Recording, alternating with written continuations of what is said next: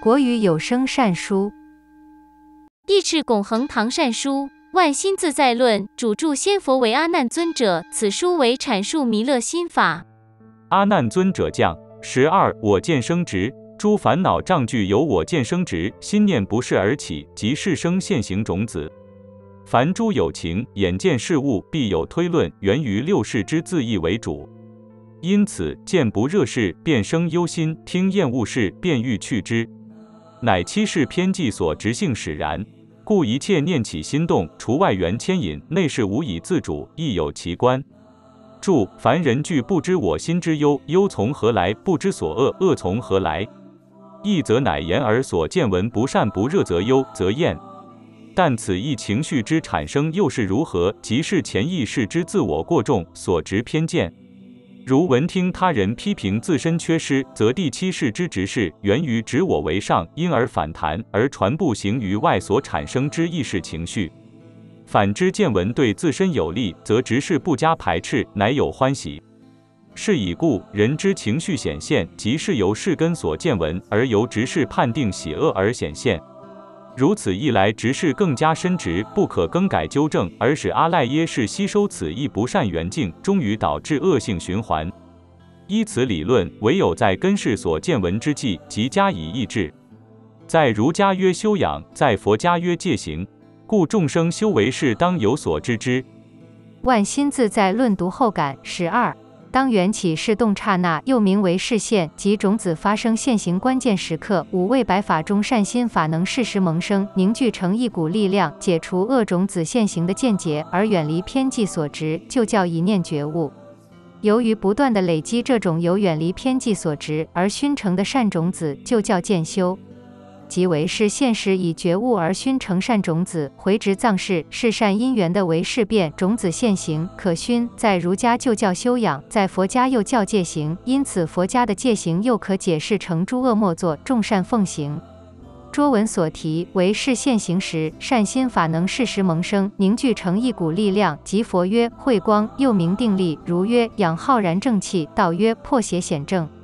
所以有情众生由人圣至佛圣的圣道旅程，戒定慧三学必须互相增上，时常加以精进。戒学可依慧力的增长，出由律仪戒升华到行善法界，最后迈向饶益有情界；而戒律的升华，也可使众生的定力由世间定心平气和，晋级到三圣定禅定，最后成为大圣定如来大定。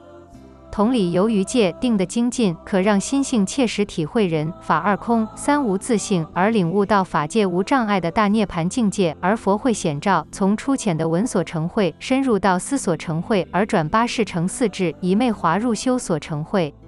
反之，当有情大众杀盗淫妄酒随外缘五根染五尘而跃跃欲试，眼看即将造新罪业时，平日修学文法所生的慧力或正思维、正精进所晕染的定力，可适时解除这一股业风习性。故古高僧大德一致认同：理要顿悟，是要渐修。所谓及时行热，为善最热。机会要自己创造，一念善心萌发时，不要让它落空，而现人比较利益的思量中，善知是群及道场的人是地物，要靠自我拿出勇气，不为牺牲利益炸低自尊心，才能展现。而蓬生麻中，不腐自直，近朱者赤，近墨则黑。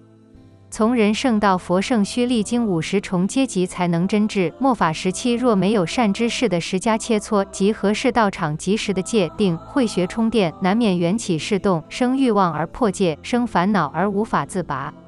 二千五百年前，曾子如四圣之一，处于孔子的教不厌且圣光普照下，上曰：“战战兢兢，如履薄冰，如临深渊。”时下邪风弥漫时，诚如尊者所言，难免起心动念，内事无以自主，而随外缘牵引，烦恼痛苦无以自拔，故时时勤拂拭，常接近有缘道场，勿使惹尘埃。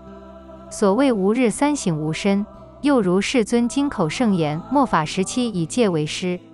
芸芸大众互相共勉，切莫忘怀。拱恒堂可以免费筑集弥勒净土，但小编真心建议替自己生前筑集拱恒堂灵修院、昊天子寿灵修院，新台币六千元。因为有去灵修院后进入弥勒净土的果位会比免费筑集的高，甚至可以达到内院大菩萨等级，所以真心建议免费筑集弥勒净土之外，也要筑集灵修院。详细资讯请洽询拱恒堂师兄姐，影片后面有他们的 line。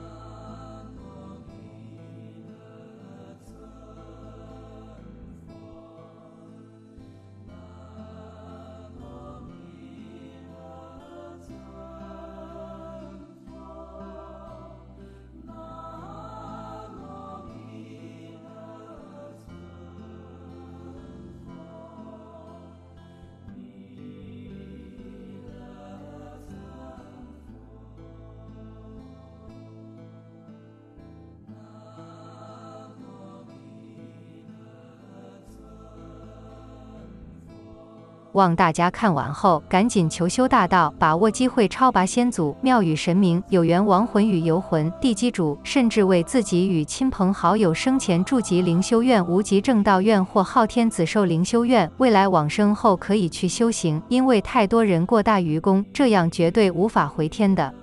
您有把握三关九口可以过关吗？您在世会发脾气吗？会好美色吗？会不说谎吗？甚至。望大家都改成吃素，断掉与众生之冤报，这世界就会更和平，恢复以前无灾无难的世界。希望大家一起吃素修行救地球。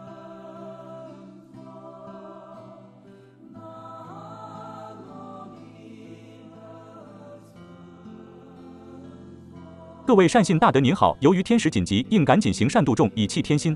义赤拱恒堂有为新宗弥勒道场，千佛墙，五度母转经轮，期望众人有钱出钱，有力出力。相关资讯可至义赤拱横堂网站详阅。